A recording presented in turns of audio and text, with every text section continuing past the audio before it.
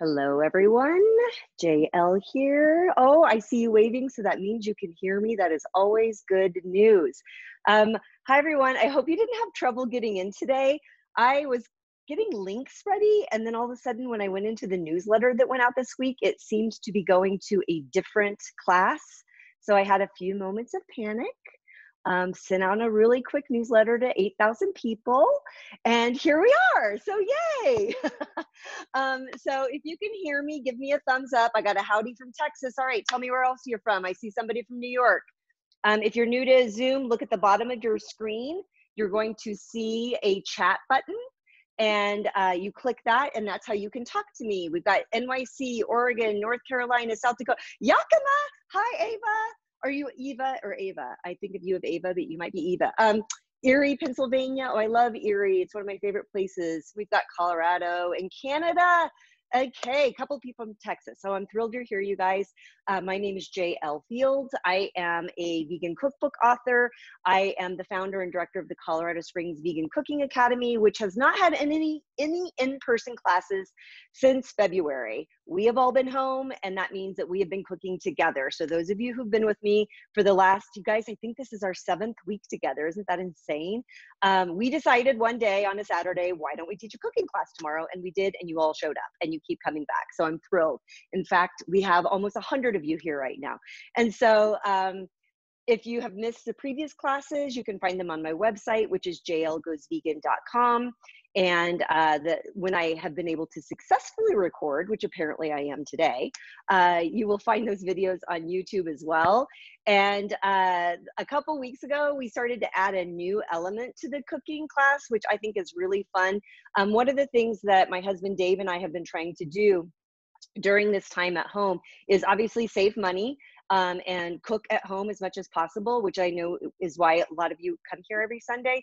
But we also make a point to get out every week. Well, except for that 14 days that we couldn't because we were self quarantined. We're fine. We didn't get sick. Um, we have been um, trying to go out to local breweries as well as local restaurants at least once a week to try to support local while um, all this is going on because I'm really entrenched in the food and wine beverage um, community here in Colorado Springs. My friends are aching, their businesses are suffering, um, and I want to do whatever I can to help them. And so one day, my friend Jeff, who you have met over the last couple of weeks from Local Relic, I said, I was talking about a cooking class and I forgot what a smart like wine and beer guy he is and a real foodie. And I said, Hey, would you be willing to make some suggestions for some beer and wine that would go well with what I'm cooking this weekend? And he's like, I'll write something up. Do you want me to come? And I'm like, yeah and now he won't quit coming to the class. Yay jeff. And so i'm about to unmute jeff. And so for about five minutes because i know you guys want me to get to the cooking too. So about five minutes jeff is going to talk to us about the beer, beer suggestion and the wine suggestions that he's made for our sauces that we're going to be doing today. And then i'll jump back in to do the classes. And so just a reminder um, that I will do my best to monitor discussion over here on the chat. Sometimes I get distracted and then I'll have to ask you to um, say things over again. But um, I'm going to unmute my dear friend Jeff so he can tell us all about the beer and wine. And I'll just say that I, as always, got started with today's beer choice from Local Relic. And Jeff, I'm trying to figure out if I've unmuted you yet. Let's see. All right, I think I'm unmuted. Yes. Good. Awesome. Um, well, hi everybody. Um, welcome back to another Sunday. Um, as JL said, my name is Jeff. I own Local Relic. Um, our venue uh, is called the Carter Payne. Um, it's a 120 year old stone church downtown, and uh, JL has been kind enough to come visit us um, just about every week to pick some stuff up. And uh, her and I were chatting before we got started on the class today, um, just about how much of the soul of that building being an old church is tied to this idea of community and everybody uh, coming out and interacting and socializing. And right now, with this whole idea of social distancing, the building doesn't feel quite the same. Um, but it's been uh, really fun to get invited here every week and get a little piece of that uh, that social interaction from you guys. So um, thank you and cheers. Um, as as I've done the last couple of weeks, I actually have um, three pairings for you. For those of you who are here in Colorado Springs, we're um, recommending a pairing to go against one of our beers. We're pairing against a more widely available beer for those of you who uh, might not be able to source our stuff. And then we're pairing with a wine. Um, really, at the end of the day, it's important to recognize that beer and wine are just food in a slightly different form. Um, JL talks a lot about fermenting foods and um, you know the kimchi's and all sorts of fun sauces and um, sauerkrauts and you know all sorts of fun stuff.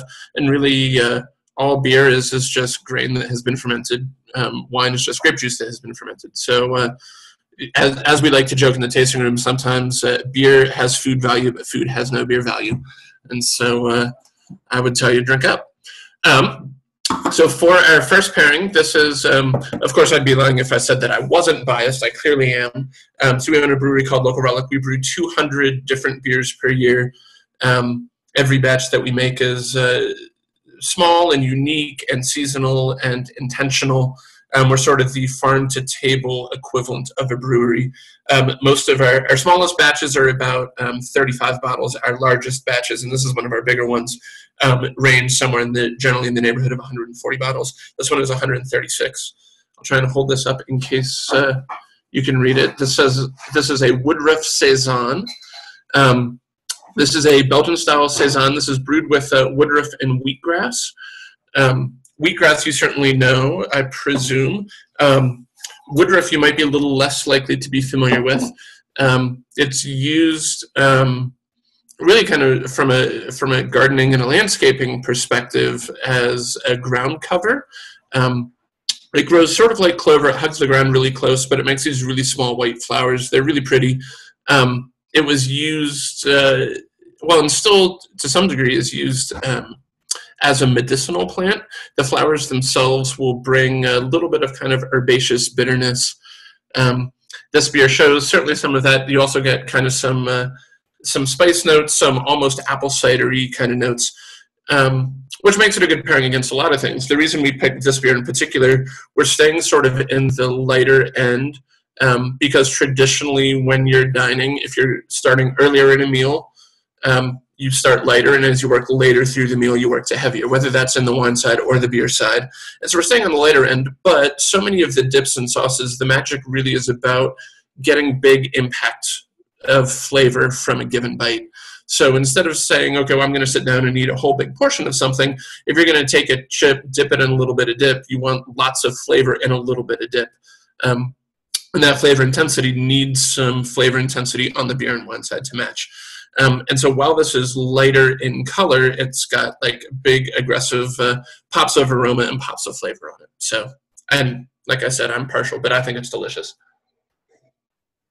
What we're re- what I'm recommending, and I don't have one here, unfortunately. Um, but what I'm recommending, if you can't find one of these beers, um, most of the saisons that you'll find are on the lighter end. It won't have the big flavor intensity that this one does. And so we recommended um, either a double or triple IPA. Traditionally, they'll have more hop presence, so you'll get more bitterness. But very often, the brewers will compensate with additional grain. And so you'll also end up with a bigger, maltier mouthfeel, higher ABV that um, same sort of lightness and color like we have with this beer, but also that same big uh, flavor intensity we're uh, taking a little bit of a, a, slightly different tack with our wine suggestion today. Um, this is, uh, if you've tuned in the last couple of weeks, you've noticed that most weeks I've been joining you um, from the church where our tasting room is. Today I'm joining you from home. Um, my wife talked me into staying home today because this is one of her favorite wines and she wanted to share the bottle with me. Um, this is. Uh, Again, if you can see it, um, the name of the producer on this is Burgans. This is an Albarino. This is the signature white grape of Spain. This is from a region in Spain called Rias Baixas. Um, uh, R I A S B A I X A S is the region. Um, if you can find this particular producer, B U R G A N S, this will run you somewhere probably in the neighborhood of 13 or fourteen dollars a bottle. Um, if you can't find this one, any Albarino will do. Um, Albarino is A L B A R I N O. Um, they uh, sometimes will show a little bit uh, what the Italians call frizzante. So it's not quite a sparkling wine, but sometimes you'll get just a little kind of a little prickle maybe of carbonation.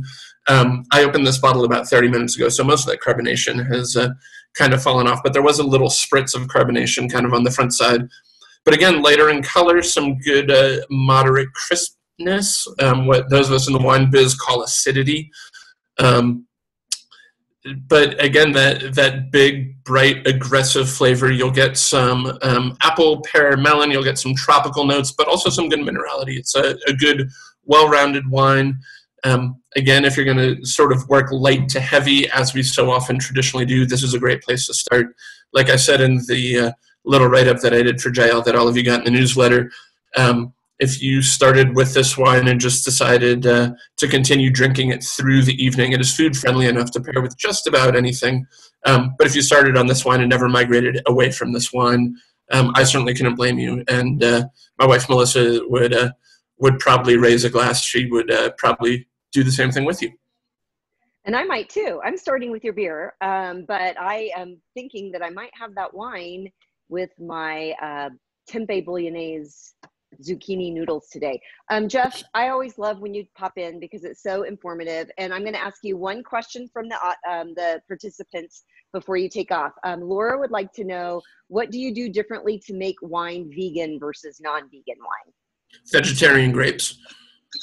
Um, so, uh, um, so obviously, traditionally, um, if grapes are just fermented wine juice, then they're sort of inherently vegan on their own.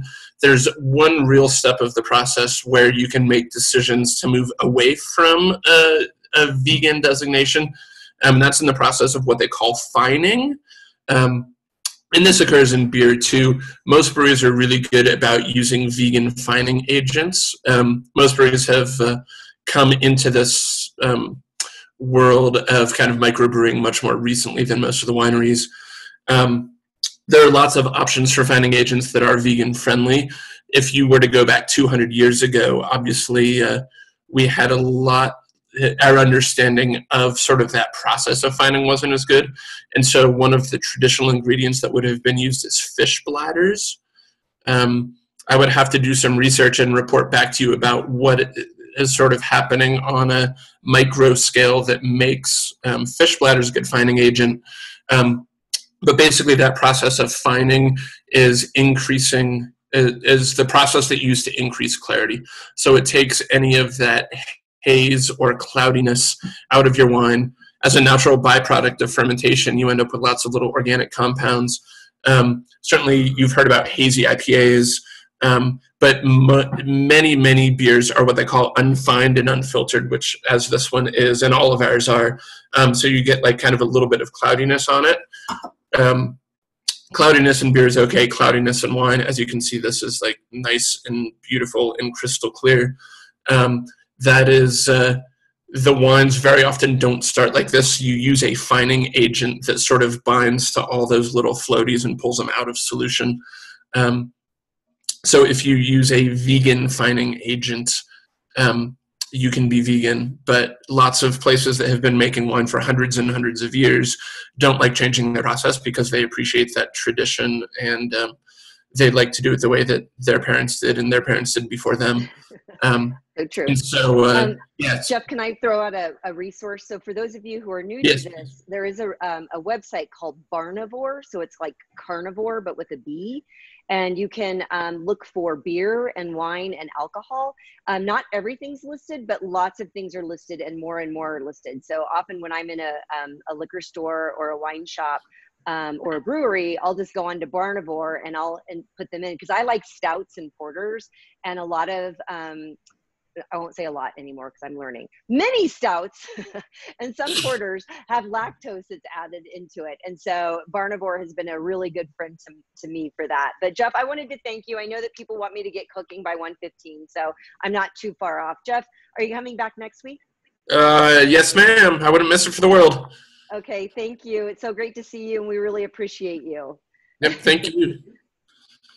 okay, everybody. So it's time to cook. Um, so what we're doing today, and, and, Jeff, if you're still around, you're getting thank yous from folks in the audience. Um, and uh, what we're doing today is sauces, dips, and spreads. And so why this class? Here's a funny thing. So I've taught this class before here at the Colorado Springs Vegan Cooking Academy. My, my model has been um, that I teach two classes a month here in Colorado Springs. One is always free and one is always a, a smaller fee-based hands-on cooking class.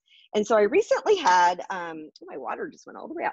Um, I recently, no, I guess not recently because I haven't taught classes in quite some time. One of my free classes last year was dips, sauces, and spreads.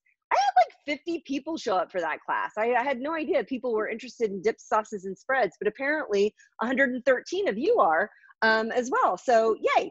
Um, so, what I'm going to do is talk you through a couple of different kinds of sauces um, and dips and spreads, and really kind of like what the base is, and then really talking about flavor. The one thing I hope that you've really picked up on over the last several weeks is that um, I'm trying to give you sort of something to build on, but then I want you to just kind of like use what's in your house, use what flavors that you like. And truthfully, things are slimming down around my house. How about you all? Have you been cooking out of your pantry over the last six or eight weeks? Um, raise your hand or give me a thumbs up or say yes in the chat. But I, um, I'm trying not to buy. Okay, so I saw Betsy says kind of. Um, I've really, for some reason, this pandemic has sort of inspired me to think about my food a little bit differently. And I know that sounds a little weird, but since over the last couple of weeks, or I keep calling it a couple weeks, it's been like eight weeks, y'all, right? Um, I um, joined a uh, farm to fork produce delivery thing here in Colorado Springs. So I'm starting to get my produce on Mondays. I've stopped grocery shopping weekly. I do it every two weeks now. And just about the time I start to put something on the grocery list because it's habit, I ask myself, do I really need it? And I'll go and I'll look in my pantry and I'll be like, you know what? I already have that. And I'm trying to stop myself for two reasons. Um, I don't know if you guys have done this, but I've definitely been trying to watch my money. I don't know what's going to happen with the economy. I don't know how things are going. Um, as you know, I'm not teaching cooking classes right now. So I'm trying to be careful. So, one, I'm trying to save a little money on my groceries. But second, um, somebody else might actually really need the can of tomatoes, right? And so, so I'm just trying to be a little bit more conscious. And what that means is I've started to be required to get a little bit more creative when I'm in the kitchen as well. Because I'm like, well, I thought I was going to use that, but I'm not. Like I always have a can of white beans, either Great Northern, cannellini. The white beans I told you to, if you're cooking along with me today for the sun-dried tomato, yep, don't have them um, and don't have them in my pantry anymore because I've been cooking the heck out of my dry beans in the pantry. So frankly, I consider this a victory.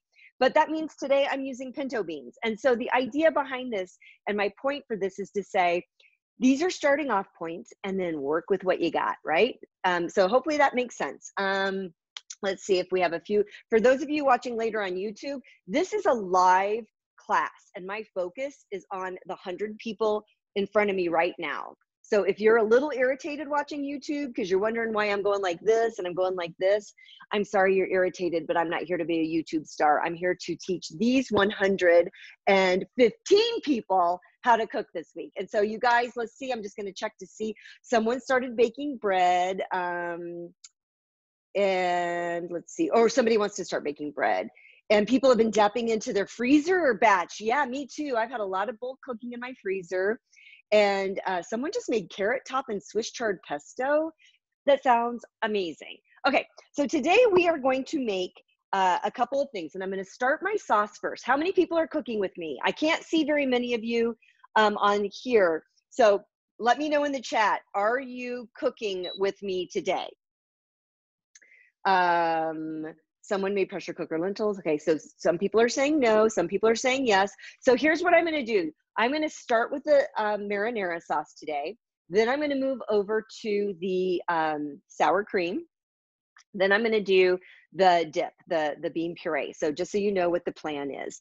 And um, I'm going to do mine bolognese style, as I mentioned when Jeff was on. I'm actually, you know, because this is kind of how I prep for the week now, is when I'm cooking with you on Sundays. So I'm going to start my marinara sauce with a um, tempeh, so I can make it a meaty tempeh bolognese sauce. So um, for those of you, oh, someone, Tracy's um, ready. She's got her mise en place all together.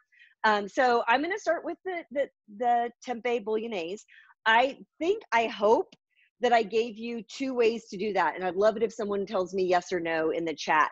I um, hope that I offered you both a stovetop way to do it and the instant pot slash pressure cooker way to do it. Okay, good. So you guys know me. Mostly I'm doing the instant pot one. If anybody's ever been on the fence about getting a multi cooker, and honest, and I keep saying instant pot, it's not. I'm using my Mealthy today. Um, my Mealthy has a, um, oh, and actually I'll drop that link for you. My Mealthy has an automatic function to do a quick release. So I don't have to think about it while I'm working with you. So I'm going to drop some links here, and one of them is for the Mealthy.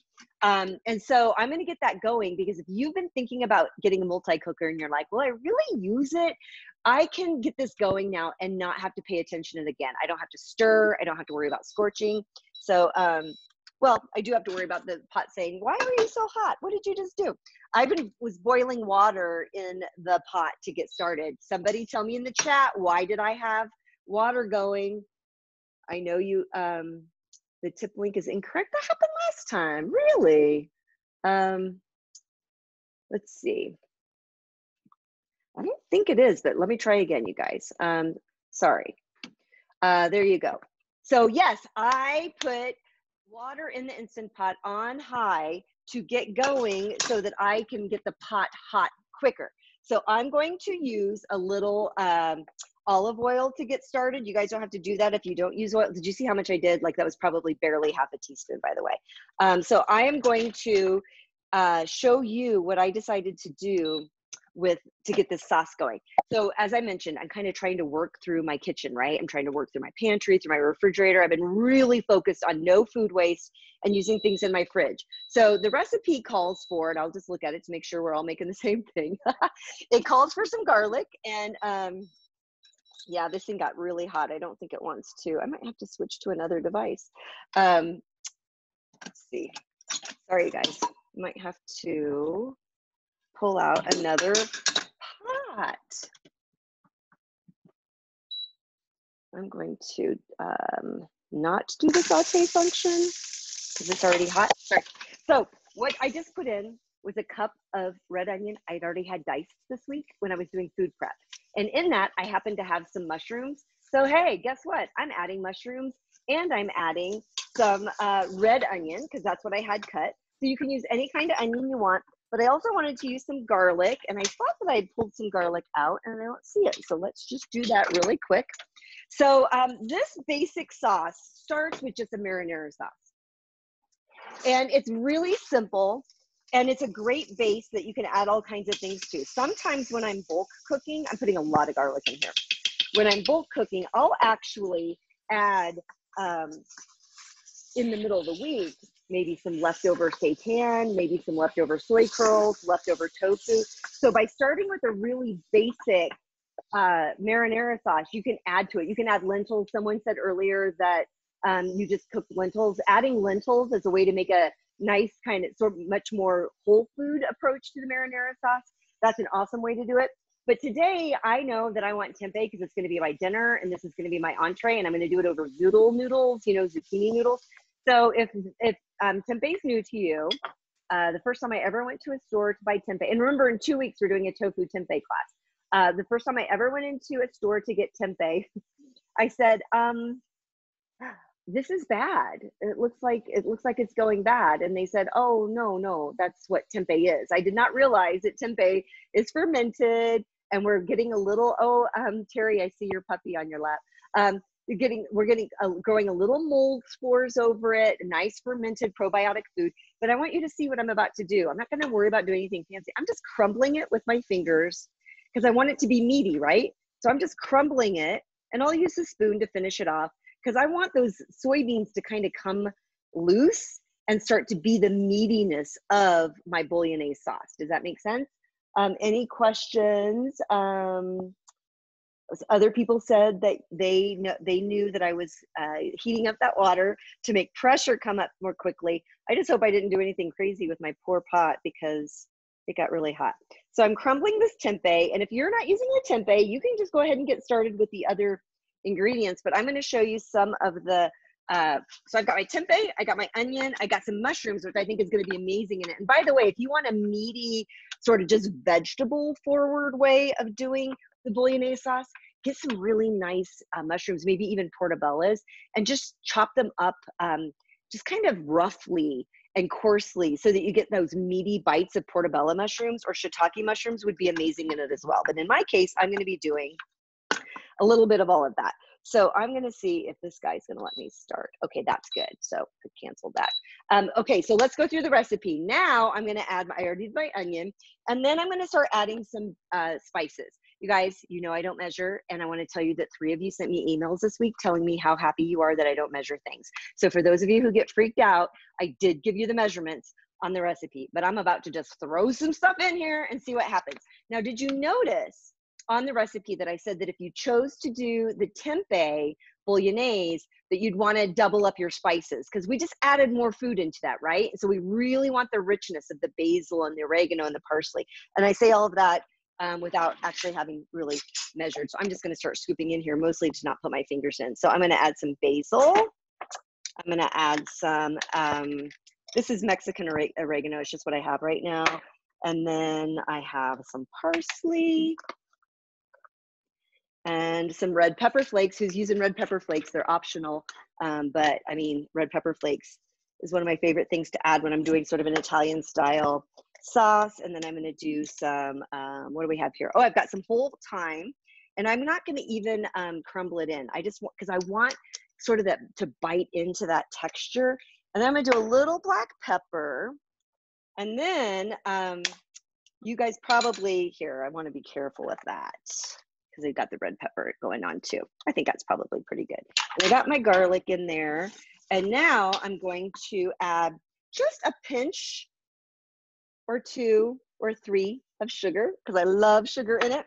And then I'm gonna do some kosher salt because it's gonna be cooking in here and that'll get nice um, and set. And then I, um, the veggie broth I'm gonna use, I just wanted to show you, you guys know I'm a big fan of powdered bouillons because it's just a way to save money and not open up like a veggie broth that has four cups of broth and then I use one and I forget about it and it goes to waste. So I like the dried bouillon powders because then I can kind of control it. So I just use a half a teaspoon with this half a cup, which I'm going to put in here with my tomatoes. And then I'm going to show you that, you know, I called for, I think I called for crushed tomatoes. Well, I didn't have them myself. I had one can crushed, one cash can diced. Big deal. I'm using both. Moving on, right? We're fine. We can handle this. Now the broth, the reason that broth is in there, I am pressure cooking this, you guys. And we talked about tomatoes for those of you who are in the instant pot and pressure cooking class before.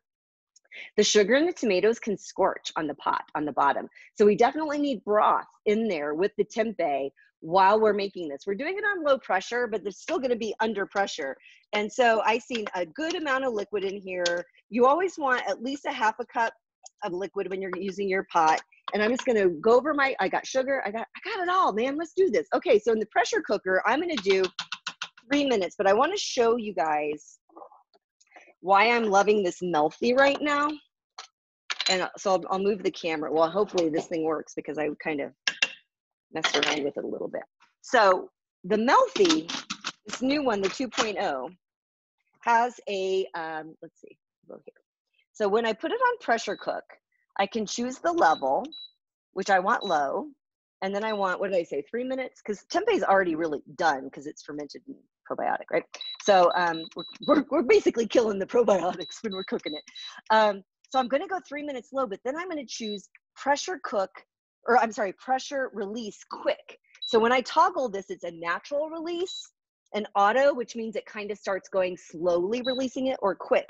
So what this means is once this starts cooking, this is going to cook on low pressure for three minutes, and then it's going to do the release for me. I don't even have to mess around with it. But the one thing I have learned is that it's probably a good idea to just go ahead and put a little napkin or towel over it so that when that happens, it doesn't scare me too much because it scared me last class. I don't know if you guys noticed that. Um, so anyway, that's one of the reasons I love it. So um, uh, pressure cooker envy. So what questions do you have? Um, oh, someone must have asked about sugar being organic or vegan. Um, actually, that's not true that most sugars are not vegan um, because the times have changed and people realize that consumers are concerned about organic, etc. So um, there are some uh, huge companies that continue to not pay heed to that, but you would be surprised at the number of um, sugars that are actually vegan in your regular grocery store. Um, but for people who are wondering, um, traditionally the you know like in the way that jeff is talking about the finishing and fining process for beer or wine well sugar um, bone char is a part of the processing for sugar or it has been and it, it still exists with some but you can go online and you can just look up um, but i get mine organic from natural grocers or i'm sorry mountain mama here in um, Colorado Springs in their bulk section because it's just easier and cheaper to buy bulk sugar. So um, thank you for that question. And are there any other questions about the sauce? Any who's got their sauce going right now? Who's doing it in their pressure cooker? I'm just curious. Oh, um, Jeff, I know I love Mountain Mamas too. Um, right around the corner from me. Um, okay, so it doesn't look like we have any questions about the sauce, but like I said, think of this sauce as just a really great base for you to build on. Um, I mean, it's great on its own. It's meaty with the tempeh. You can add leftovers later. You can add leftover roasted vegetables from another meal or grilled vegetables from another meal. And then two or three days, add that to your sauce when you're reheating it. And it's awesome. Um, but I got to tell you this with the tempeh, um, I've been doing the zoodles because I've been getting zucchinis in my um, farm to fork delivery every week. And uh, so I've just been spiralizing them with, and then I, I saute them with uh, red pepper I, in a little extra virgin olive oil, and then I add a pinch of salt and some red pepper flakes and just do a really quick flash saute of the zucchini noodles. So there's still just a little bit of Christmas because true story, I don't love summer squash. This is not my favorite. I'm sorry, I'm the worst vegan. I don't like eggplant. I didn't really like zucchini and I didn't really like yellow squash until I started spiralizing it and then just did a really quick flash saute. So I've got a little bit of a crispness that reminds me I'm eating a vegetable and not mush. Um, we all have our issues. Mine's around texture. Okay, so um, some better than bouillon is the bomb. Oh yeah, for sure. Someone is talking about different kinds of veggie broths to have on hand. Okay, so now let's make some sour cream. Is that what we're making? I think it's sour cream. I was I was confessing to Jeff, you guys. So a funny thing happened um, after the pandemic started. I got another book deal. So I've been working on a book that's going to come out this fall, and I can't tell you what it is yet, but I think a lot of you are going to be happy, and some of you are going to be surprised. Um, and so it's been a little crazy. So I was working on the book right up until about 45 minutes before this class started, and I was like, I need to reframe, get it together. So anyway, yes, we are making um, sour cream now. How liquidy should it be to make sure no scorching? Um, Vicki, that is an excellent question. Do you have tempeh in there as well, or is it just the um, the broth? Vicki's asking. She's just wanting to confirm so that she doesn't scorch her broth, or I mean her marinara. So Vicki, if you hear me asking that question, um, I'm not seeing you type back, so I'll check again. But you want to see some, um, you're not making it now. Oh, okay. So, you know, when I looked in it, I'm sorry, I should have showed it to you. Um, basically I saw a little veggie broth on top of the tempeh and the tomatoes. And so what I wanted, what when I'm putting broth in with my tomato, well, a couple things. I'm going to since the other things are going to cook up so quick, I'll, or they're not, we're not even cooking them, so it's easy. Um, I'll take a little time for those of you who are in the instant pot podcast. This is a little bit of a um, refresher, but with tomatoes, the, what I try to do is depending on what I'm making, I don't stir the tomatoes into whatever I'm pressure cooking. I try to keep them on top of the food so that they don't get to the bottom and then they won't scorch. So that's one plan. But since this is completely tomato based, that's not an option. So um, it's one of the reasons I like to add something like either a cooked bean or the tempeh, like I did but then what I want when I put the broth in is I want to be able to see the broth, meaning the broth didn't just absorb into the tomatoes, if that makes any sense. And so all I can tell you is that when I looked at it from sight, what I was looking for was just sort of seeing the tomatoes and the tempeh just lightly swimming in the broth. And um, I hope that that helps. Okay, so we are going to make some sour cream, and I'm going to tell you a couple of things that might surprise some people. So I do have a Vitamix. It's right here. Some people use a Blendtec, but notice that I also have a food processor right next to it. So here's my um, confession.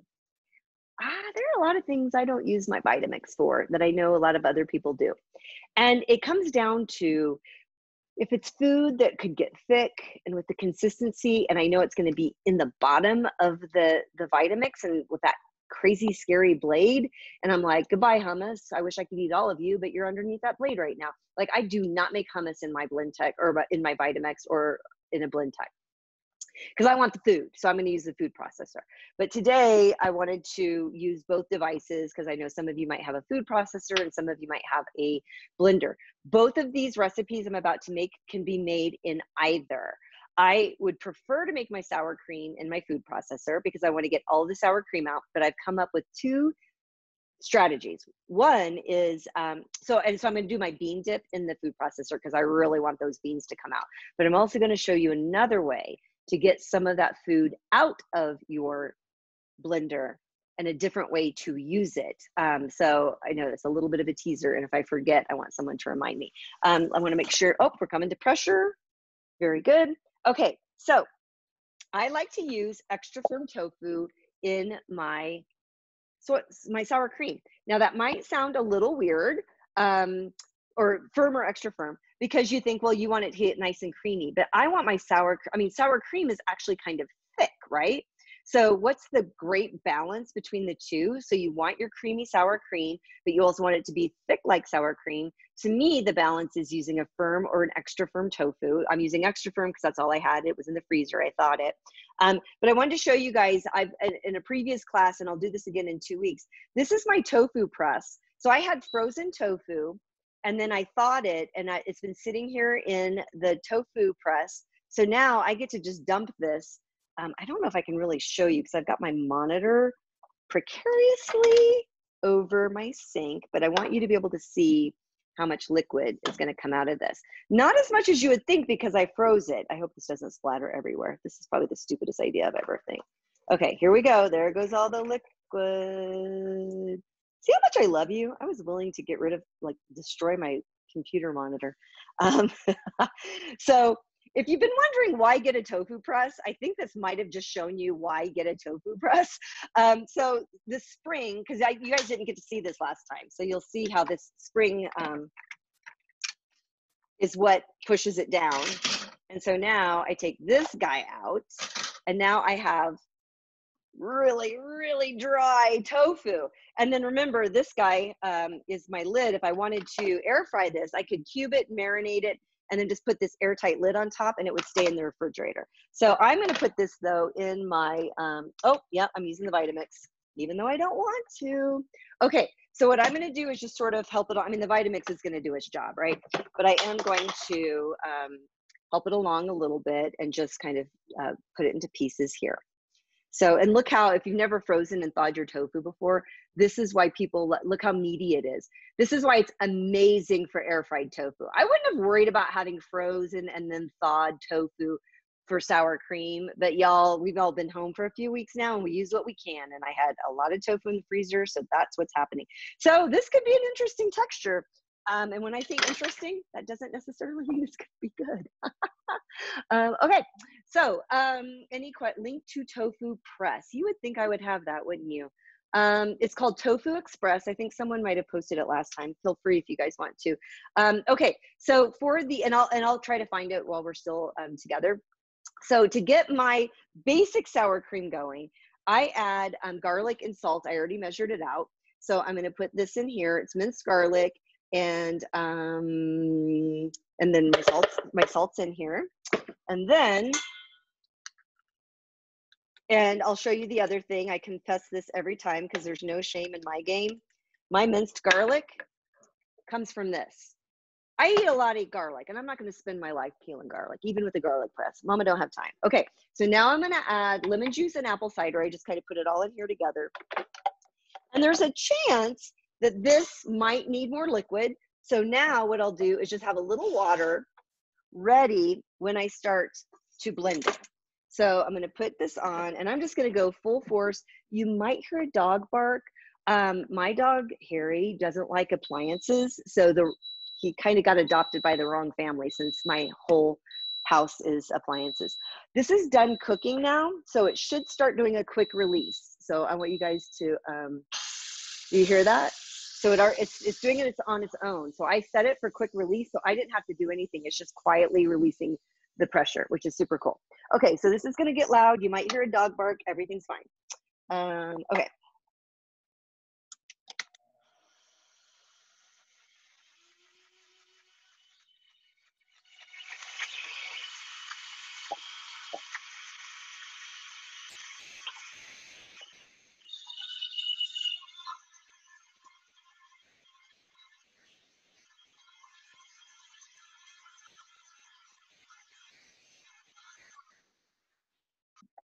I don't hear my dog.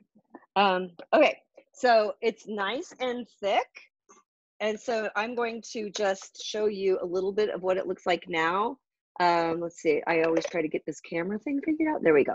So sour cream, right? So we want it to be thick.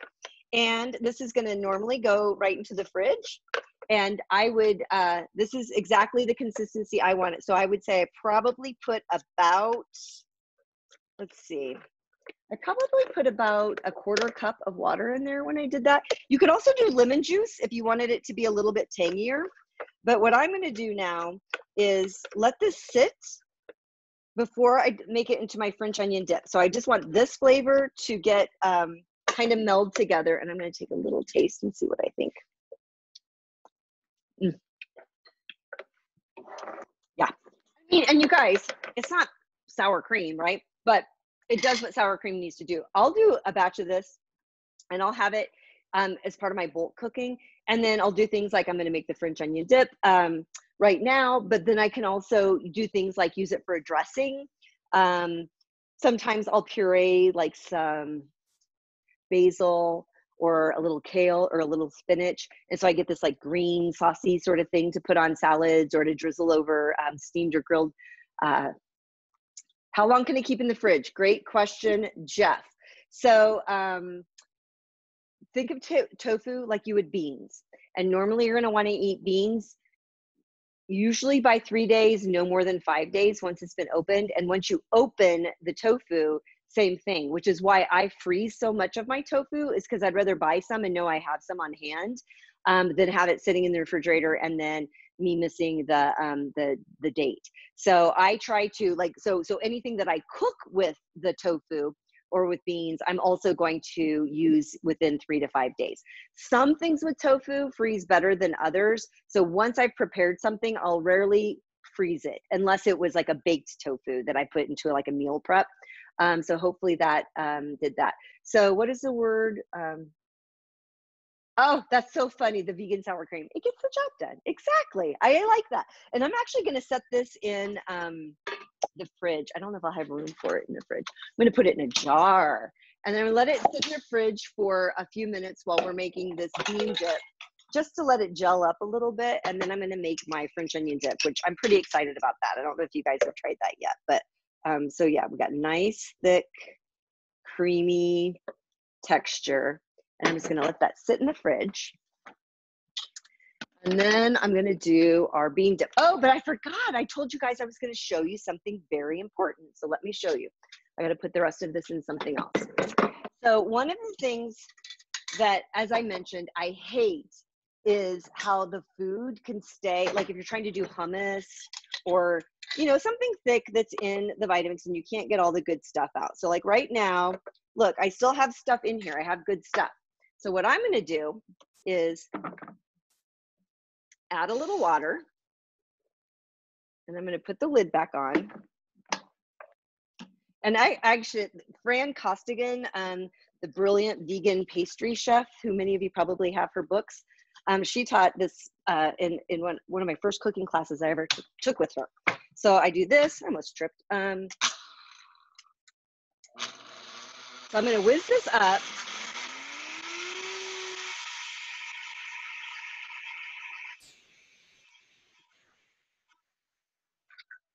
and I'm going to pour this in my sauce. And it's going to add a creaminess to my marinara sauce. So it's just a way to kind of get the good stuff out of there. And so when Fran taught us that, she taught us that because she was making yummy chocolatey stuff in there. And it's like, who wants that chocolate to go to waste? So she just put a little liquid in there, a little water, and then blended it up. And then suddenly she just had a little bit more for syrup. So there are some ways that you can kind of try to reuse what's left in your blender if you are using like a, a blender where you can't get all that good thick stuff out. So, um, so I wanted to show you that. And then, um, oh, okay, um, Maria, is it Maria or Maria? Um, beautiful name. Uh, someone likes raw cashew dressing. Oh yeah, that's always a good thing.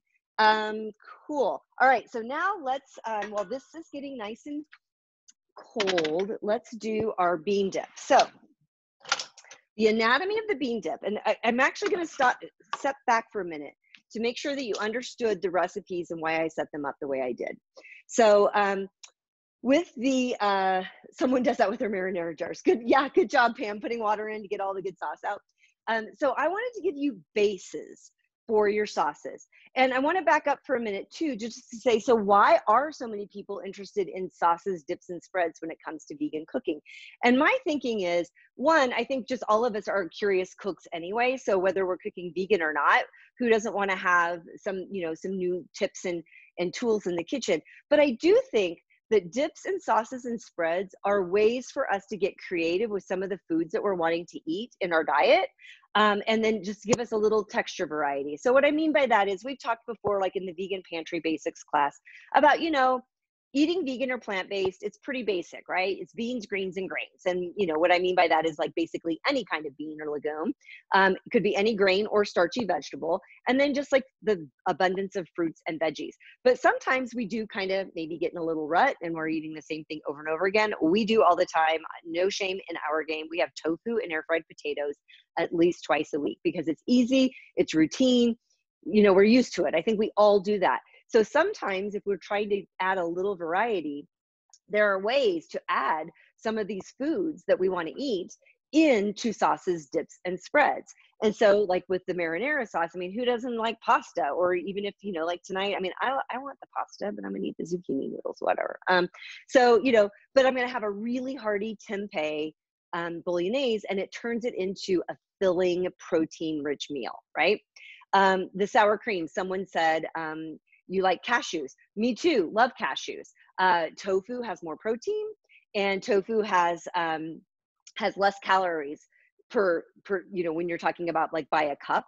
And so it's something that I'm going to use often. For me, that's my preference, which isn't to say that that a, amazing cashew sauce can't do that as well. But that we want to start thinking about these things. I love to use nuts and seeds and sauces and spreads because nuts and seeds are an important part of our diet as well. And so, you know, like to put some sunflower seeds in um, a food processor with maybe just a lime juice or lemon juice and then just let it go for a few minutes, it basically turns into a sun uh, sunflower butter which is just an awesome way for us to get seeds and add some variety. And so, in the same way, um, that's how I approach some of these bean dips. So it's like, okay, I'm eating beans three times a day. It's a you know plant-based diet. I'm either eating seitan, tempeh, edamame, tofu, or bean, and I'm eating it right. So here's a way to take the bean and change the texture, change the flavor, and change the way you serve it, the way you eat it. And so we're going to start. Well, you guys are going to start if you are, who's making this with me? Oh someone said umami exactly. Um, because the basis of these recipes start with here's here's the the um, the blank canvas. We have our sour cream. Now what do you want to do with it? You're going to make french onion french onion dip. With this bean dip we're going to start with the beans but then we're going to add the side tomatoes, and that brings umami. There are other things you could add if you didn't want to use um, sun dried tomatoes. You could add soy sauce to the beans. You could add mushrooms, dried that you've rehydrated or reconstituted with some warm water or broth, fresh mushrooms. You could, um, let's see. Is there somebody, I'm sorry, what's going Is somebody having trouble with their own? A lot of static. Interesting. Um, let me shut everybody off and then, um,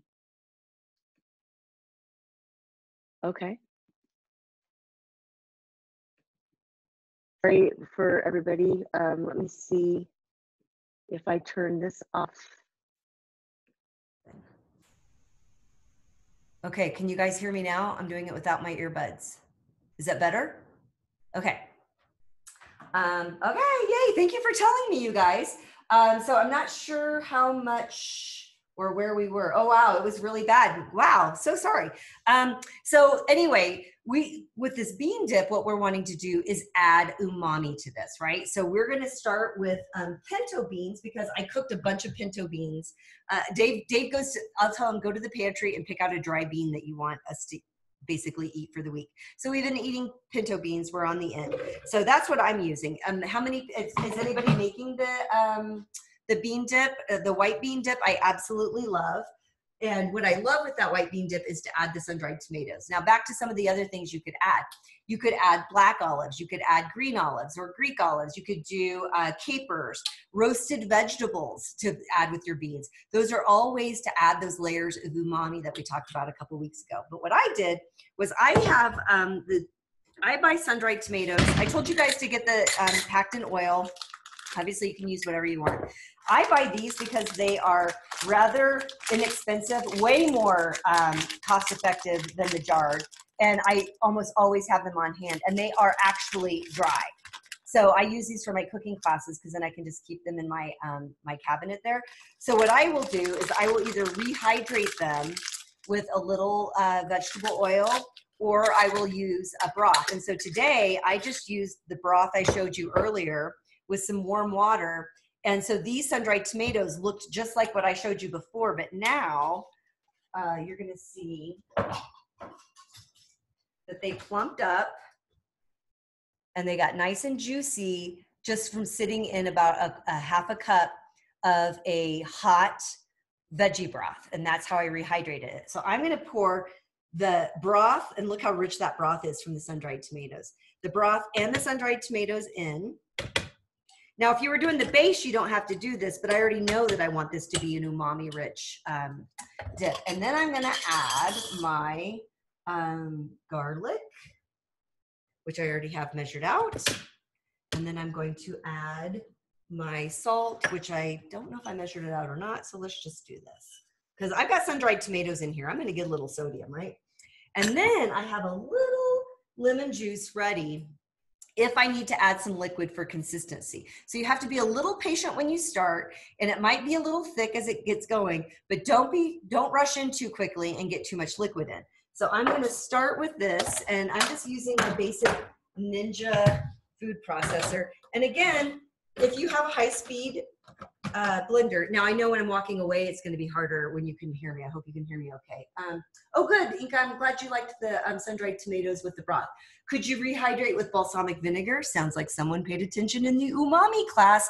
That would be brilliant to rehydrate that. I mean, then you basically just made yourself a balsamic sun-dried tomato infused balsamic, right?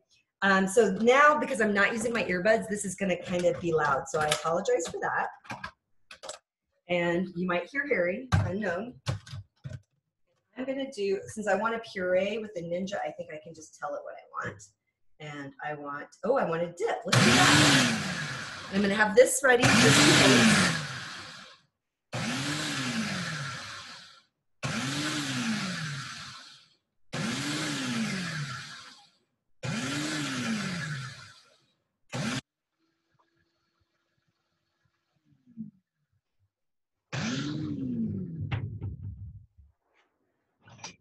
right, let's see what I have going on in here. Yummy, yummy, yummy. I want a nice, thick, chunky texture. That's what I'm here for. That's what I came for. So now I can just take this. I'm gonna put it in here so you guys can see what it looks like. And then I'm gonna tell you how I would serve it. Oh, yummy, yummy, yummy. Okay, so here is a spread.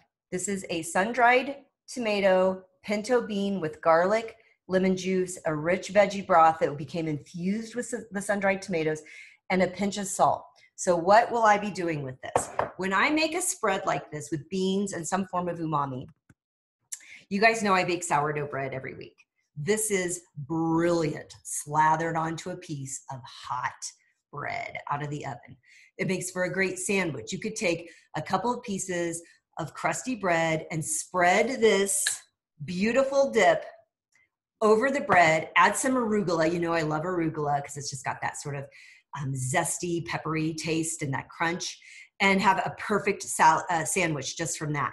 I love putting it on um, tortillas to wrap up. I will make tacos with this. So like I'll put in, I'll put corn tortillas in the air fryer to get them crisp. And then I'll just put a bean um, spread that has lots of umami, especially now that I've done the pinto beans with the sun-dried tomatoes. I might even just like mince up some jalapeno, some red onion and some cilantro and just have like a bean dip taco.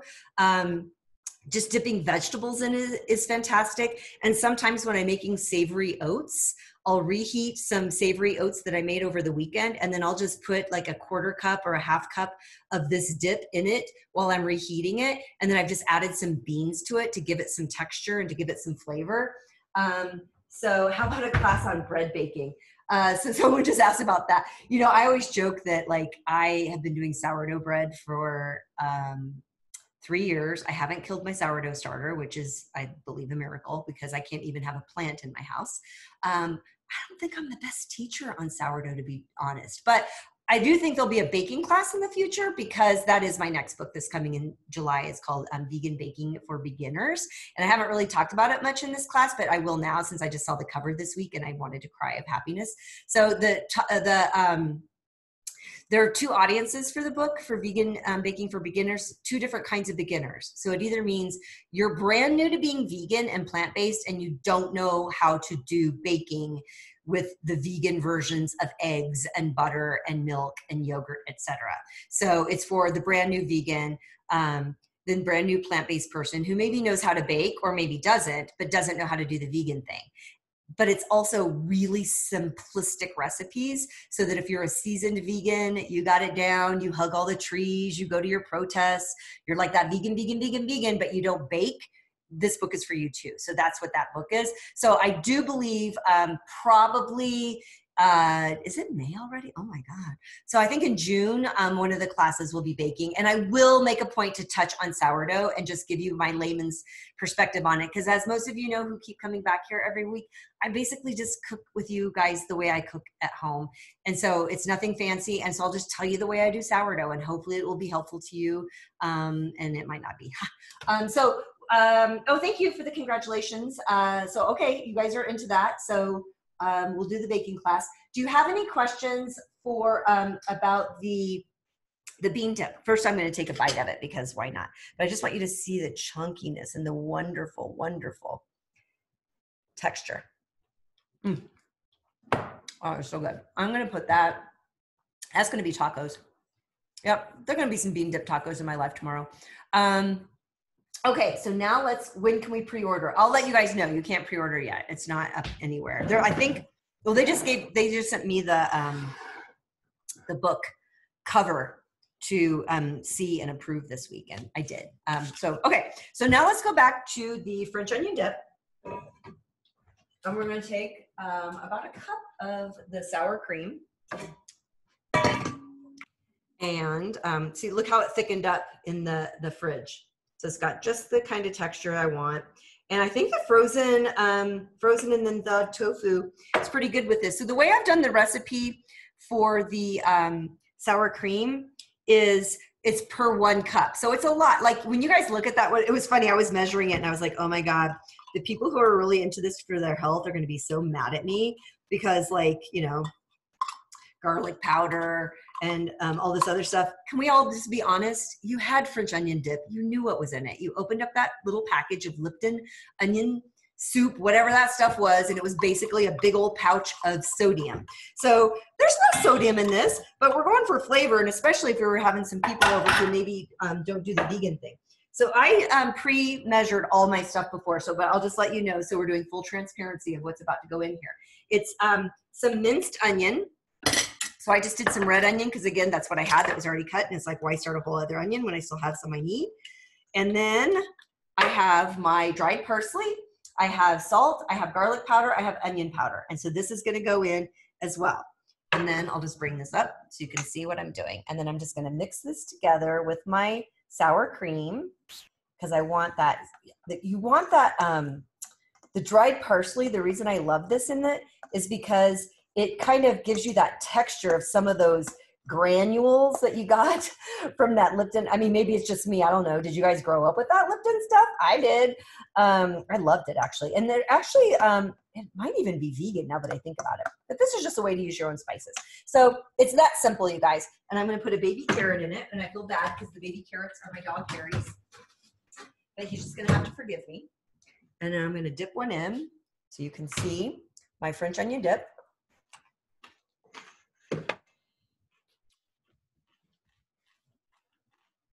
Excuse me.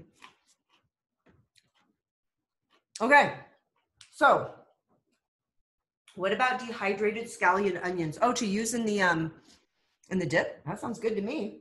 Um, can you use fresh herbs? You could, but you know, um, one thing, I don't know how well the fresh herbs would last if you had it in an airtight container in your refrigerator for a couple days, if you used fresh herbs. But also, if you think about um, the French onion dip that you might have grown up with or that you bought in the store, it's got that kind of like that texture you're looking for where there's a, like you feel like you're biting into something. I think you would get that from the fresh herbs. I mean, why not try it, right? Um, could you use roasted red peppers instead of sun-dried tomatoes for the umami in the bean spread? Absolutely, you guys. I mean, roasted vegetables um, is definitely when I when I think of the things I'm going to put in home cooked or canned beans that I throw into the food processor. I'm always going to throw garlic in, and I'm always going to have some lemon or lime juice. Sometimes if I'm feeling sassy, maybe some orange juice, but I want that acidic, right? And then it's all about what's that one thing I'm bringing in from a food ingredient that will pull in the umami. And it's either going to be um, dried and reconstituted or fresh mushrooms. It's going to be some kind of olive or capers.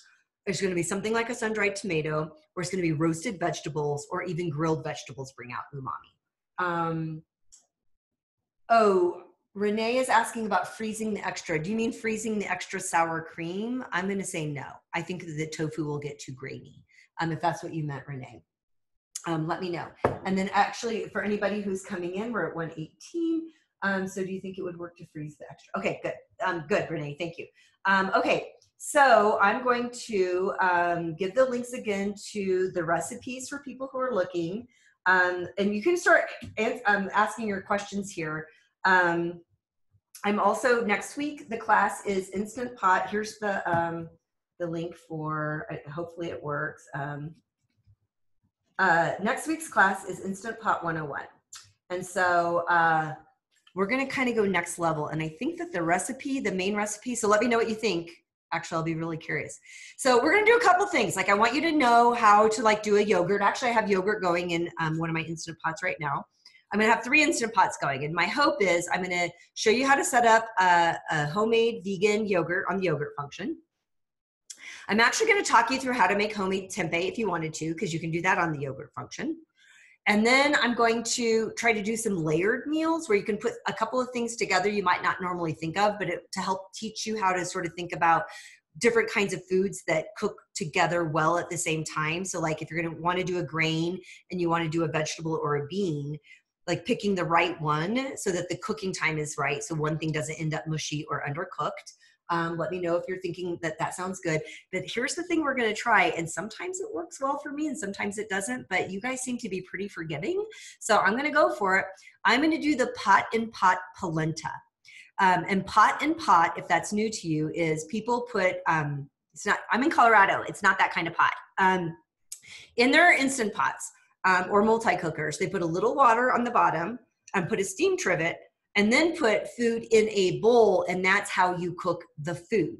Now there are a couple of reasons for that. That's how some people do desserts and i know somebody asked last time um, if uh, i was going to do like a vegan cheesecake in the instant pot and i'm telling you i made one once and i was like honey i just think some things just weren't made to be made in an instant pot but i don't know i'll think about it. But um, but polenta is a cornmeal is really challenging because oftentimes it can scorch and stick. And so some grains do better with the pot and pot method. So i thought what we could do next week together and i'll send out the ingredients of course later is um, make a cornmeal that is going to become a cheesy dill polenta, but we'll do it pot and pot. So it won't be directly in the pot. It will be on the steam trivet. So you can see the process of putting a bowl in your instant pot and then cooking with it. And we'll see if it becomes polenta. What do you think? Does that sound good?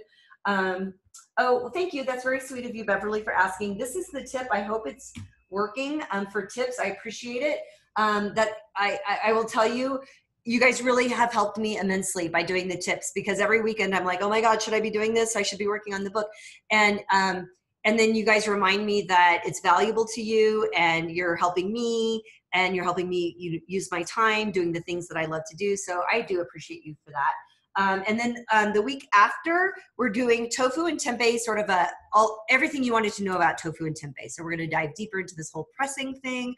We're going to talk about marinating, um, different ways to use tempeh, how to steam tempeh first, because some people don't really love it, but if you steam it, it's actually a great way for it to start to be a little little less bitter and changes the consistency, and then it, you'll get to the point where you love it and you'll eat it out of the package. But you know, it's baby steps, right? And then um, I think those are the only two classes I have scheduled now, but it sounds like I need to get a baking one on um, for sure. And maybe um, one quick question was the marinara natural or quick release? I to show you the marinara. Oh my gosh, it was not, it was quick. and it was quick. The good news is it was quick because um, I'm so glad you asked me that question. It was like, um, hello, could you get back to the first recipe you're making, crazy lady? Um, so here's my beautiful, beautiful meaty. I'm just gonna let you see it right here. So the reason it's low, um, I'm gonna give you a little 101 again on the Instant Pot and pressure cooking. A lot of times the reason we're using a low pressure when we're cooking and a quick release, it's usually for fruits and vegetables, but also often for things that are sort of already cooked. So they don't really need to cook cook. You're doing it to meld flavors. That would be a low pressure and a quick release. Uh, high pressure and a natural release is what we tend to use for beans and grains. For heartier cooking foods, um, that natural release process, they're still cooking. So it's an important and integral part of the process. Now, in this case, we weren't doing low pressure because we were worried that the broccoli would get mushy or the green beans would be overdone or the cauliflower would get mushy. We're doing it because it's kind of already cooked anyway. So we were doing it for flavors. And so um, even though I forgot, but remember I had done the, I had set the, the pot to do its own quick release. So it did release it. But I want you to see how beautiful this sauce came out. And then I'm going to show you what I'm going to do with that little extra sour cream. So here's the texture of my meaty, meaty marinara sauce. Look at those beautiful chunks. But now what I'm going to do, and then what I'm going to do is put this on saute. So that extra sour cream that I had that was left and I used the water, I'm just putting this in here. Think of it like if you were doing like a, um, like a vodka uh, sauce for pasta. Well, here, I'll let you see as I stir it in. So it just kind of changes the color a little bit. It's adding some creaminess, put a little bit more flavor in there, but the pot is still on warm. So I'm just gonna put it back in there. But look how that just changed a little bit of the sauce as well. But tempeh for bolognese is like one of my favorite ways. And then someone asked me, mentioned my, um, Yes, you can use your, your regular pressure cooker. I'll get to that in a minute. Someone asked about my t-shirts. You guys have noticed I've tried to have a really good vegan t-shirt on every weekend. And so today, Vegan for the Animals. And this is from um, Compassionate Company. Um, it's uh, Andy Tabar's company. And he and Paul have a podcast called The Bearded Vegans, which is really awesome. If you don't listen to it, I highly recommend it. And, um, and actually, Andy got COVID-19 and he's in recovery right now um, with his parents, but also he makes his living going to veg fests and selling um, awesome shirts like this. And Andy may not work again in 2020. Um, because the Veg Fests are all getting canceled left and right. If you're in Colorado, I don't know if you heard, our Veg Fest was canceled. Um, and so, if you're in the market for getting some awesome vegan message wear, I really want to encourage you to look up the Compassionate Company. Um, it's called Compassionate Company, sorry, compassionco.com. That would be a really amazing way to support a fellow vegan who's um, going through a really, really rough time. Um, due to the pandemic, um, not only getting it himself, but being unable to work as a result of it. So I just wanted to thank you, Laura, for putting that link. Do uh, I use soy curls or TVP and bolognese? Yes and yes. Soy curls and TVP both work brilliant for um, for a bolognese sauce. And I would rehydrate the soy curls before I put it in the pot, and I would do that probably in a nice, rich, hot um, veggie broth, maybe even chicken style. And then I would chop them up. And I'd actually probably put the soy curls in my food processor, chop them up, and then put them in the broth. The TVP, I wouldn't worry about um, obviously chopping them up. TVP is, um, I might actually have both to show you. Um, yeah. So TVP will plump up like vegan meat when it gets um, some warm water or broth. And then soy curls are more like strips. Um, and so I would chop them up and add them to my bolognese. And then I did want to get back to that question that someone asked and said, Can I do this in my regular pressure cooker? Absolutely. When I do um, almost anything I do in the Instant Pot is basically pressure cooking, except for next week, because I know you guys want 2.0. So we'll do yogurt. I'm actually going to talk about um, the important use of the saute function, which I use all the time. Um, but you can do this in your um, stovetop pressure cooker. You just do, you know, how you do low pressure. For those of you who don't have one, you may not know that you have to control your heat when you're doing a stovetop pressure cooker. So you have it up on high heat so it comes up to pressure the immediate as soon as it comes up to pressure you have to find that sweet spot of lowering the heat to where it just gently maintains a rocking motion um, with the um, on the on the pressure cooker so that it's just gently rocking and that's a low pressure if it were jiggling like this that's the high pressure and you would only do it for three minutes and then for a stovetop pressure cooker you just hold yours under running cold water uh, the lid and the pot and the pressure will come down just like that so, um, okay, let's see. Oh, good. Y'all are helping each other out. This is great. Um, any last questions for me, you guys? And I, um, I did want to um, see. Do you want me to keep doing? Oh, I'm going to answer that question. I promise. And I want, I want your feedback. Okay, let's. Okay, if you're drinking beer or wine or whatever you're drinking, kombucha, let's chit chat, shall we? Okay, so I have some questions for you. So I might try to remember to cut this off on YouTube. It might not happen. Whatever. I do not have time to edit videos. I'm just like I need an assistant. Okay, so two things I wanted to talk to you about. But that wasn't it. Um, what were what were we just about to say? Someone asked if I was going to keep doing the classes, and I want to talk about that. But somebody asked me a question before that. Um, if you remember what the question was, tell me. But I will talk to you about my idea for the classes. Oh, I know what I was going to ask you. Do you like the beer and the wine pairings? Is this something that has been fun for you? Um, I just wanted to kind of try to do something a little bit different and maybe expand so your culinary. Okay, I'm getting like lots of yeses and sure's. Okay, good. And I really like Jeff is such a great guy and he's just like so knowledgeable and he's a foodie and a wine guy and a beer guy. So I'm going to keep bringing Jeff back. Awesome. Thank you very much because I think he's wonderful. I see some people who don't drink, so that's cool. So, you know, have some kombucha or some sparkling water. Um, and so um, we will keep uh, doing that. And um, here's my question for you. So someone asked, am I going to keep doing these online classes? And I've actually decided, um, someone asked, where do we get the recipes you are making? I send them out in my newsletter and I also post them in my Facebook event and on Instagram and somewhere else on Meetup. Um, I send a link to the newsletter. If you guys, um, let me uh, give you that link again. I, I tried to give you the link to the newsletter, but apparently I'm having trouble with some links right now. Um, so here's the link to my newsletter. Um, and what I do is I try on Wednesdays or Thursdays, worst case Friday, but I really try to do it sooner. Um, I send out to you what I plan on making in the class that we can cook together and that's where the recipes are too. So, um, so if you sign up for my newsletter, then you'll get that. And then sometimes you'll get a crazy email from me like this morning, which was like, oh my God, here's the correct link. Um, okay, so someone asked if I'm going to plan on doing these online classes. And you know what? I am. And I'm going to tell you what I'm thinking about doing. So people had asked me for a long time, and I'm like, Zoom is too scary. I don't know how to do it. Blah blah blah. Well, who knew Zoom was going to become like a word that like like our grandmas know. I mean, you know, so Zoom is a thing now, and apparently I know how to do a little something with it. I might not be a pro. Um, so I want to keep teaching classes here in Colorado Springs. I mean, this is what I do, and um, at some point, when the timing is right and I feel like everyone can be safe, I want to resume that. And I teach private cooking classes here where I go into people's homes. And um, I hope I get to resume that too. But I've had for years people asking me about online classes, and I was like, I don't know. And so um, this has been fun. Um, I've enjoyed doing it. I've loved the community that's been built.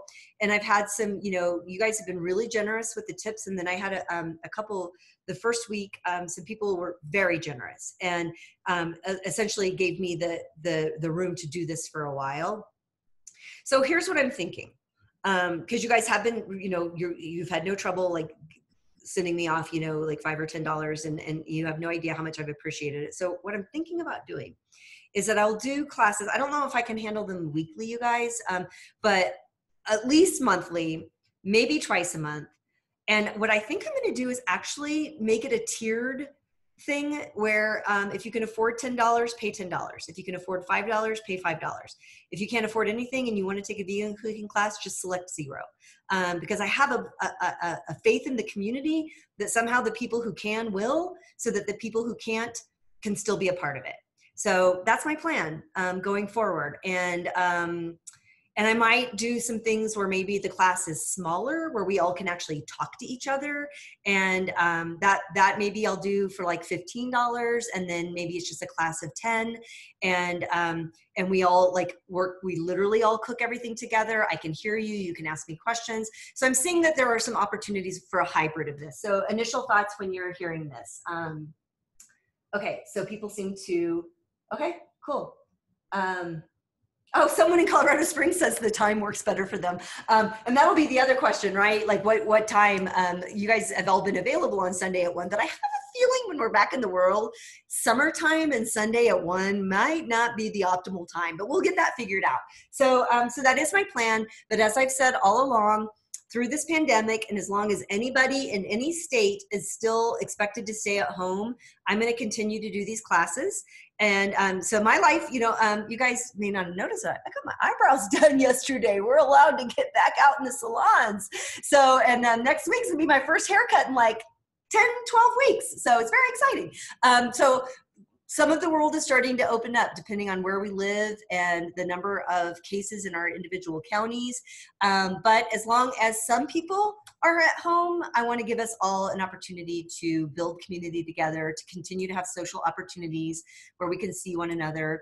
Um, to continue to be home cooks together and um, and hopefully if anything that's come out of this time it's been hey you know cooking at home is actually pretty fun good for me and i've saved some money so maybe there'll be a way for me to do a little bit of both and i want to help you along the way with that so with that um, if there are no other questions um, oh thank you guys i really appreciate your kind words someone just asked me to um, sorry send that link again i'm always embarrassed to do it but um, i will and um, I will see you next week. Sign up for the newsletter so that you can um, cook with me next week. The polenta is what we're going for. A cheesy dill polenta is hopefully what we're going to do. Pot and pot in the Instant Pot.